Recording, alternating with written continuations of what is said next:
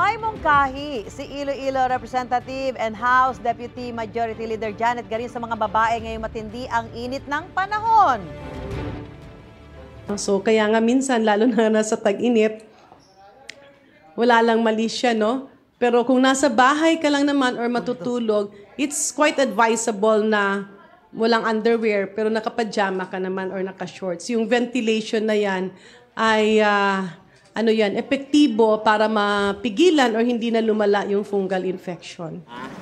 Paliwanag ni Garin, ito'y para sa kalusugan ng mga babae at naiwasan ang anumang fungal infection. Mas prone daw kasi ang mga babae sa infection kapag masikip ang suot sa gitna ng mainit na panahon.